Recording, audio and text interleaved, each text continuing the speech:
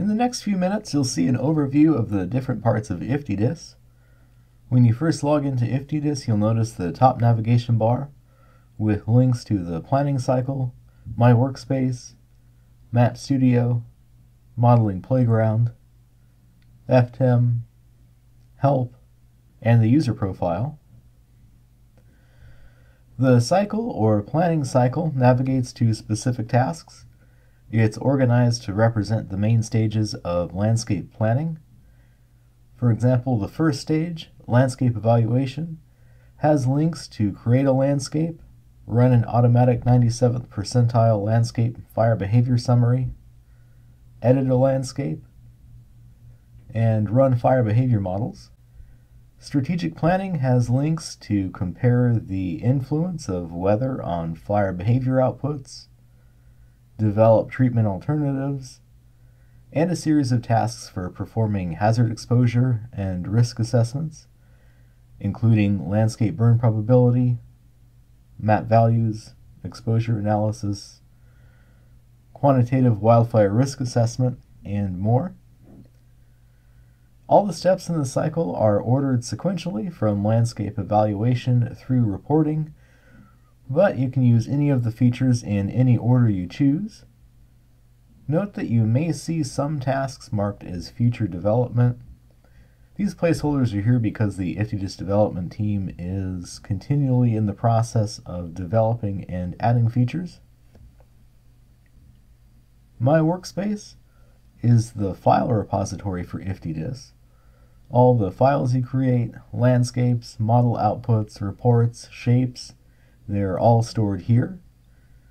Like your computer, my workspace is organized in a folder structure where you can create a folder by clicking on the Create Folder prompt. You can also rename or delete folders with the controls that appear in the top right if you hover over the folder name. As you create and store files, you'll see them listed here. Clicking on a file shows the options for that file, as well as displaying file metadata in the right-hand panel. And on the left panel, you'll find filters to help you browse your files. Map Studio is the geospatial part of IFTDSS. Here you can view landscapes and model outputs, overlay these with each other, as well as shapes, IFTDSS reference layers, and other files, and visually assess your data. In some parts of IFTDSS, such as landscape editing, you can view the application in split screen to see the Map Studio on one side of the screen and the rest of the interface on the other. Modeling Playground is where you can select and run models outside of the more structured planning cycle here you'll see a drop-down menu listing all of the models currently available in IFTDSS. You'll notice along the bottom there's a list of all model runs stored in My Workspace, in addition to any model runs that may be currently processing. Like My Workspace, you can click on a file to see options and metadata. In Playground, you'll also have the option to copy a run, Copy is useful, for example, if you want to run a model with several of the same variables the same, except for, say, fuel moisture. You can copy that run, adjust some of the variables, give it a descriptive name, and click Run. Returning to the top navigation bar, you'll see FTEM. This stands for Fuels Treatment Effectiveness Monitoring. I'm going to omit this because it's a feature specific to federal land managers who are tasked with monitoring fuel treatments and reporting wildfire interactions.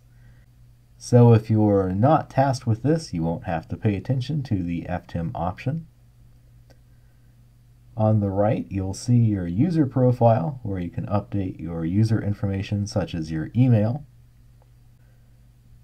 Finally, there's the Help tab you can choose to open the Help Center in a new tab or use the About This Page option to open a tab containing the Help Center topic specific to the part of IFTDSS that you're working in. There's also the User Forums, the Help Tour, which opens all the field help on the page,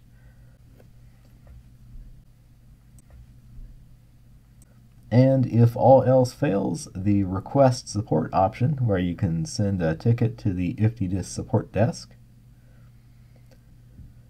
There's also information accessible on many pages in IFTDSS, both displayed in the right-hand panel and the clickable question marks on many IFTDSS headings. So that's a brief tour of IFTDSS. For more in-depth information, you may refer to our how-to videos or browse the IFTDSS Help Center.